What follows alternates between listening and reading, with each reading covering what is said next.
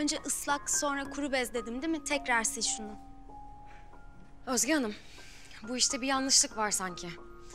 Yani ben Gülfem Hanım'la konuşmak istiyorum. Aa, öyle mi Güldür Hanım? Sizi biraz çalıştırdık galiba. Bakın ben daha önce de defileye geldim. Ama bu işleri yapmadım. Ben size yardım etmek için buradayım. Temizlik yapmak için değil. Bir sorun mu var Özge? Yardımcınızı biraz yorduk galiba Gülfem Hanım. Gülfem Hanım ben bir saattir sandalye siliyorum burada. Ondan önce de iki saatten fazla kulisinizi temizledim. Bunlar normalde benim yaptığım işler değil. Bir terslik var sanki. Yazık. Terledin mi? Yok. O yüzden değil. Tamam tamam. Zaten başlamak üzereyiz. Yavaş yavaş konuklar da geliyor. Ömer. Yetişemeyeceğini sanıyordum. Sen o kadar ısrar edince işlerim biter bitmez geleyim dedim. Nasılsın? Gel oturalım.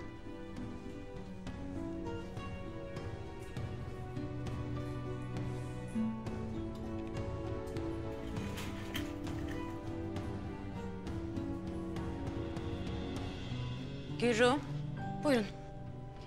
sen kulise gitme. Yakınlarda ol. Hatta şurada ol.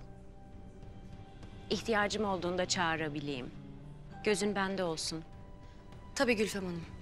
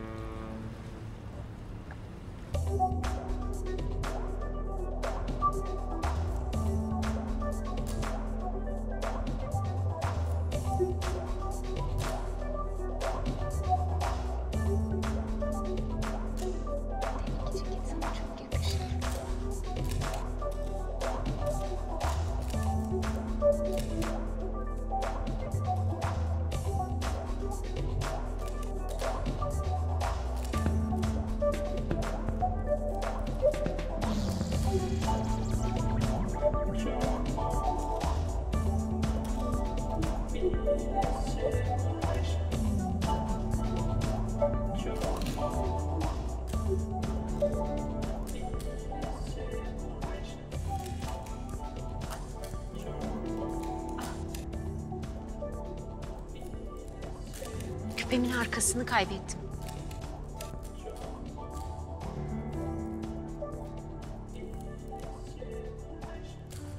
Küpemin arkası düştü.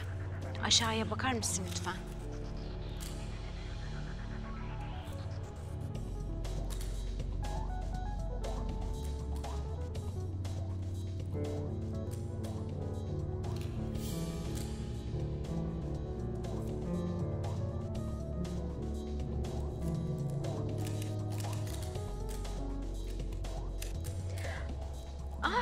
Gürru. Buradaymış.